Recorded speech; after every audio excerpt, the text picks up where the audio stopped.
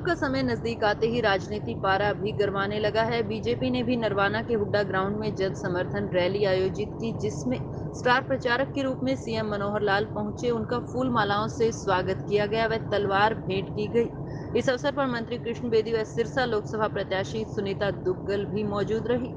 हरियाणा में मैं सभी लोकसभा में दो दो बार तीसरी जा रहा हूँ और मुझे लगता है कि हरियाणा की जनता ने जो प्यार अभी तक पिछले साढ़े चार साल में हमने, हमें दिया है, वही प्यार लगातार देती रहेगी और हरियाणा की जनता एकदम, चाहे केंद्र सरकार की, नरेंद्र मोदी जी की सरकार हो, चाहे हरियाणा सरकार हो, भारतीय जनता पार्टी की, टोटल रूप से यानी संतुष्ट है और उस संतुष्टि के आधार पर ही मैं कह सकता हूँ कि एक जो आह्वान हमने किया है, नरेंद्र मोदी देश के प्रधानमंत्री द्वारा बनने चाहिए, उसको जनता स्वीकारेगी, दस की दस सीटें भारतीय जनता पार्टी को दे करके और नरेंद्र मोदी के हाथ मज़बूत करेगी इस मौके पर बोलते हुए मुख्यमंत्री ने कहा कि देश को दुनिया की महान शक्ति केवल मोदी ही बना सकता है। देश में इस समय लोकसभा चुनाव का समय चल रहा है और देश में लगातार मंथन चल रहा है। कश्मीर से कन्याकुमारी तक देश में हर पाँच साल के बाद लोग अपनी मर्ज़ी की सरकार चुनते हैं। सभी पार्टियाँ लोगों के बीच आएँगी और बताएँगी क्या किया है, क्या करेंगे।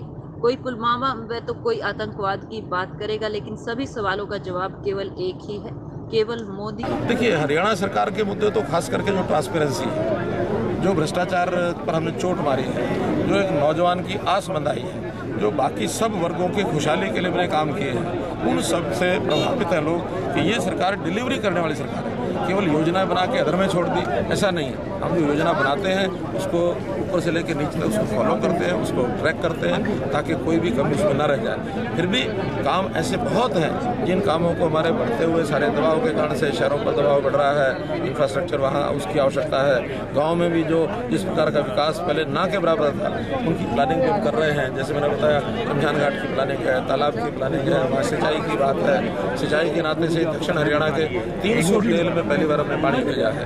फिर भी पीने के पानी, सिंचाई के पानी इसकी समस्या अभी बहुत बाकी है। उनसे दूर करके मोदी का अर्थ है मैन ऑफ़ डेवलपमेंट। इंडिया, इस देश को दुनिया का महान शक्ति अगर कोई बना सकता है तो केवल मोदी ही बना सकता है। सीएम ने दावा किया कि हरियाणा की 10 की 10 सीटें जीतेंगे। आप सुनीता दुग्गल को विजयी बनाए, कमल के फूल पर मोहर लगाए। एक बार फिर मोदी सरकार बनाए, इनेलो के गढ़ में गर्जे सीएम मनोहर लाल उन्होंने कहा कि नरवाना हल्का सिरसा लोकसभा का हिस्सा है। ये इनेलो का गढ़ रहा है, जो नरवाना की जनता का दिल जीतता है। सिरसा लोकसभा का ताज उसके सिर सजता है।